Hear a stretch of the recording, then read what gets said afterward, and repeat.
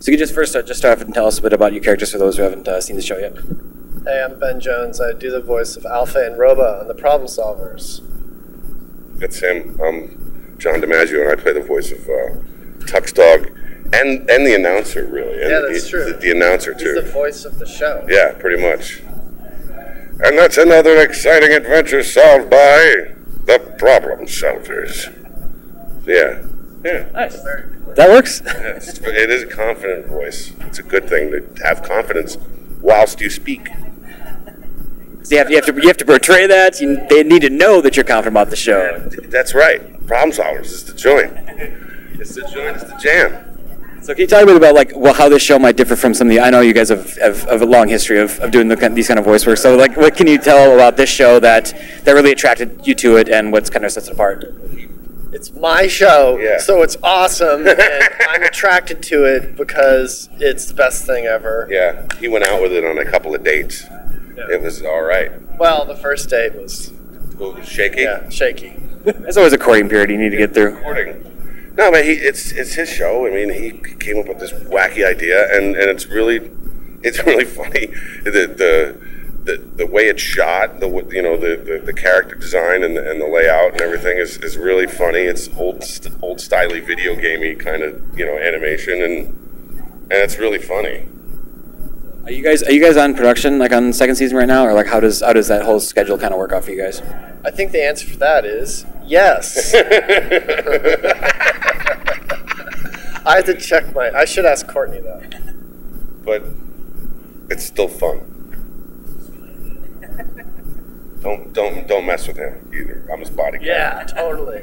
I'm his bodyguard. That's what You got to toss throw some people around at the con. You know, people say, "Well, what is it about problems?" Go, yo, kicking your ass, right? You know, but not. it's uh, Confidence. Like I confidence. said. Confidence. Speak with confidence. So like, what do you guys like about just coming here in general, like uh, to the con? I mean, I know a lot of people like it because they don't, especially in animation, you don't. There's such a big, huge time time gap between the show and when you guys are working on it, and you get to see like kind of the fan response when you go here. So is that kind of one of the things you like about coming here? Yeah, I grew up on the East Coast, so I'd go to the East Coast conferences like SPX in Baltimore, Maryland. What's up? MoCCA, New York. This is much bigger. It's it's huger. It's really huge. The thing I like most about um, San Diego Comic Con is leaving. I can understand. Trust me. No, I'm not just joking. It's it's it's it's it's a mammoth event. It's a mammoth event. If if, if you know people that are watching have never been to San Diego Comic Con, it's uh, it's huge. There are too many people here already, and um, and it's yeah. If you like crowds and uncomfortable people, and and and socially inept characters walking around in costumes, sweating all day long, then this is the place for you. Come to San Diego.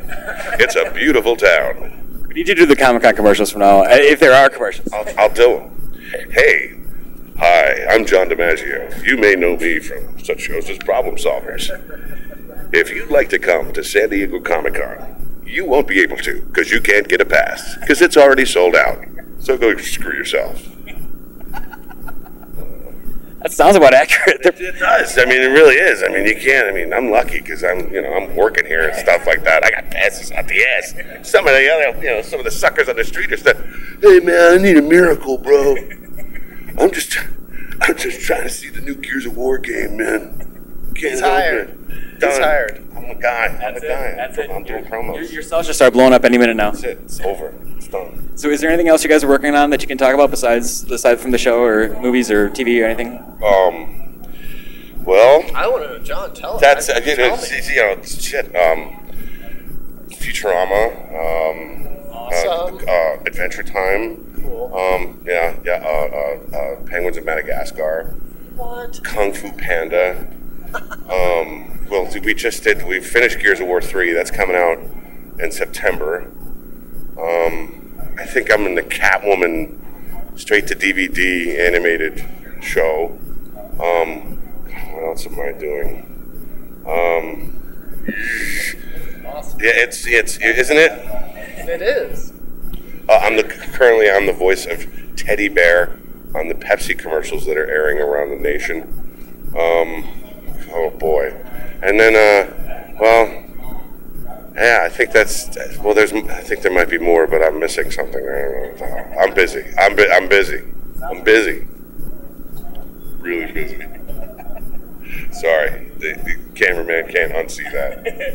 Is there anything you were else you're working on like script wise then, or No, I might try to get a uh, web page going. That's it. He's really enthusiastic about what he's doing. It's awesome. It's great. This is going to be a great morning. of press. so just uh, just just try about like what would you like to say to fans who've been tuning in to Problem Solverz already about uh, why they should keep tuning in to season two? I mean, maybe some other things they might expect from the new season. There's going to be lots more stuff, and it's going to be totally bigger and different and better. And um, everything's changed. There's lots of game changers and new characters. And Tux Dog is. No, no, no. no, No, it's just really early. That's not fair. This show's No. canceled no, now. it's not canceled. It's not canceled. It's totally fine. It's just it's I'm gonna tell. in the morning. We're tired. um, and we're working a lot with uh, some reoccurring characters. We're going to bring back reoccurring characters and lots of stuff that's for kids. yes, totally for kids. It's totally for kids.